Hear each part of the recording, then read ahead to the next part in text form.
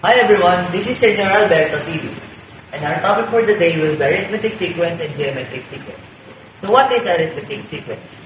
Arithmetic sequence is a sequence in which each term is formed by adding a fixed number to, find the preceding term. So what do we mean by fixed number? A fixed number, or what we will call the difference, is by subtracting the second term and the first term. So, let me give an example of a sequence.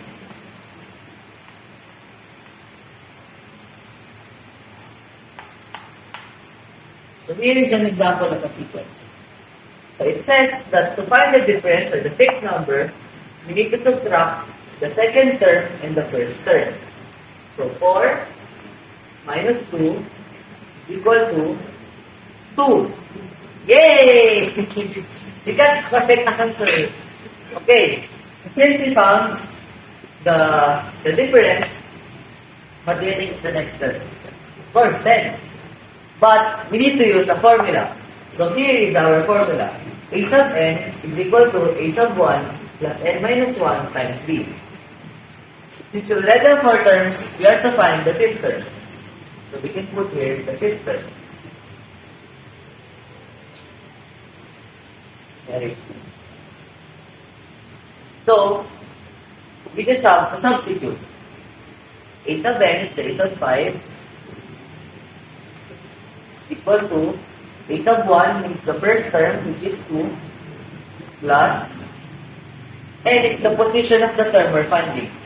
Since we're finding the fifth term, our n will be 5 minus 1 then remember our difference, it is 2. So, we then just have to simplify. A sub 5 equal to 2 plus 5 minus 1 is equal to 4 then 2. A sub 5 is equal to 4 times 2 is equal to 8 and last equal to 2 plus 8 is equal to 10. So our fifth term is 10. Another example. For example, we need to find the 21st term. Okay? Oh, 10 is 7 to go.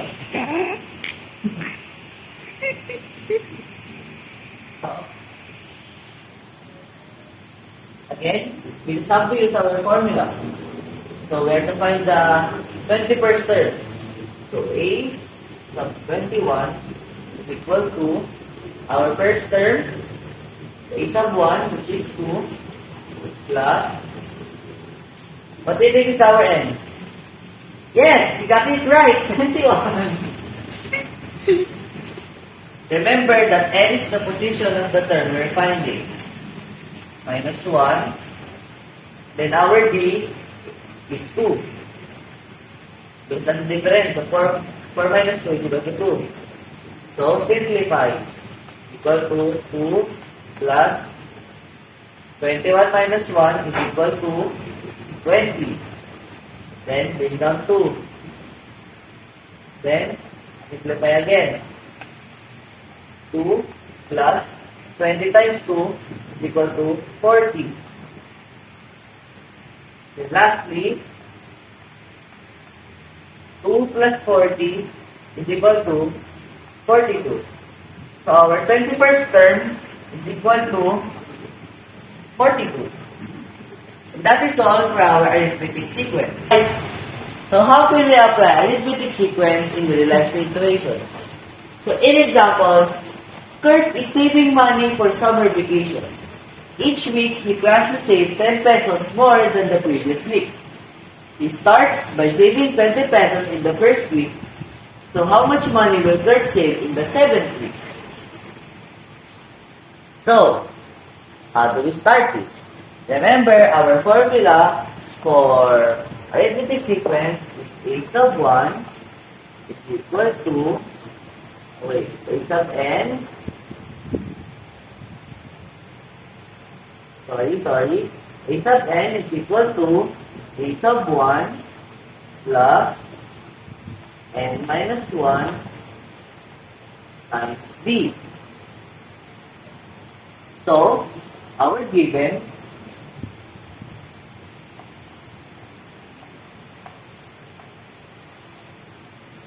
a sub n ano a sub 1 is equal to 20 our difference is equal to 10 so we have to find the seventh week so a sub 7 is equal to our first term 20 plus what do you think is our n? Of course, 7 because are finding the 7th week. So, 7 minus 1 in our difference is 10. So, a sub 7 is equal to 20 plus 7 minus 1 is equal to 60 Oh, I mean 6 times 10. Simplify again. A sub 7 is equal to 20 plus 6 times 10 is equal to 60. The last, a sub 7 is equal to 20 plus 60 is equal to 80.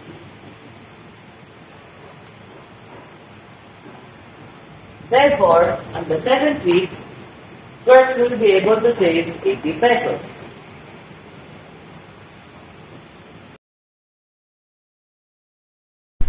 So, hi everybody. So, now we will learn about geometric sequence. So, what is the difference of geometric sequence and arithmetic sequence? So, remember that arithmetic sequence is adding a fixed number to find the preceding terms. So, in geometric sequence, we multiply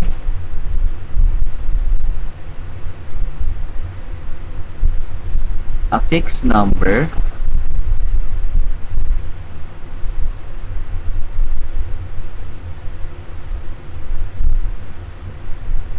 to find the preceding terms.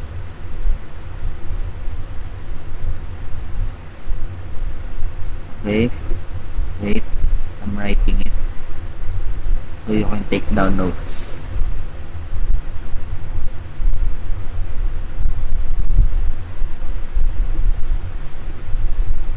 see the terms.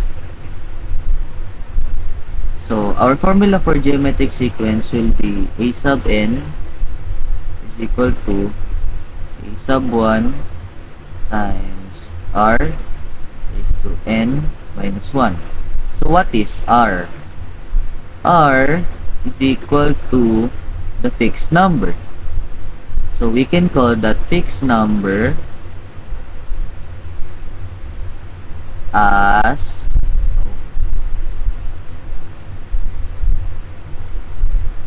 as our common ratio. If the arithmetic sequence has common difference, then geometric sequence has common ratio. There. So, to find R, R is equal to A sub 2 divided by A sub 1. So, in arithmetic sequence, to find the common difference, is e it's equal to uh, A sub 2 minus A sub 1. So, our example, it can be 2, 4, 8, 16, 32, and so on. So, how can we uh, find the common ratio? So, from the formula, it says a sub 2 divided by a sub 1. So, 4 divided by 2, where 4 is our second term, or a sub 2, then 2 is our a sub 1. So, it will be equal to 2. So 2 is our R. So now we can substitute. Since we already have 1, 2, 3, 4, 5 terms, let's try to find the sixth term. So a sub 6 equal to our first term as 2, our R as 2, then our N is 6 because we're finding the sixth term minus 1. Simplify. A sub 6 is equal to 2 times 2 then 6 minus 1 is equal to 5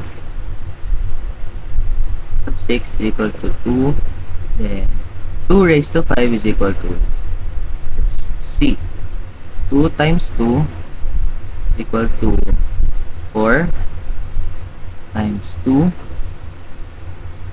equal to 8 times 2 so 1 2 3 4 that's for already 16 times 2 is equal to uh sorry uh, 32 so 2 raised to 5 is equal to 32 then 2 times 32 is equal to 64 Therefore, our a sub 6 will be 64. So, that's it. So, that is geometric sequence. So, how can we apply geometric sequence in real-life situations? So, here is an example of uh, real-life situation.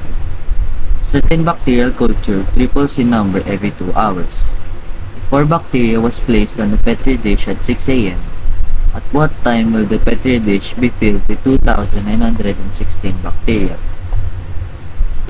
So remember that our formula for geometric sequence is equal to a sub n is equal to a sub 1 times r raised to n minus 1. So our a sub n will be 2,000 916 is equal to our first term uh, 4 our common ratio as 3 our common ratio is 3 because it says triples so it's times 3 then n minus 1 so our first objective here is to find n so 2916 is equal to 4 times 3 raised to n minus 1. So we can cancel this by dividing 4. 4 now. So 2916 divided by 4 is equal to 729 is equal to 3 raised to n minus 1. So we can simplify 729 to 3 raised to 6. So both of the uh, both sides will be in exponential form. So now we can focus on the exponents. 6 is equal to n minus 1. So to isolate n, we need to add 1 to both sides. So plus 1 plus 1. So 6 plus 1 is equal to 7. So our n is equal to 7.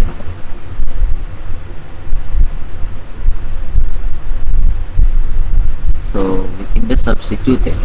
So remember that our a sub 1 a sub 1 is equal to 6 a.m we focus on the time here. Is sub 2 is equal to because of 2 hours so uh 8 a.m is sub 3 is equal to uh sub 3 is equal to 10 a.m a sub 4 is equal to 12 p.m a sub 5 is equal to uh, 2 p.m. A sub 6 is equal to 4 p.m. And A sub 7, that's our n, is equal to 6 p.m.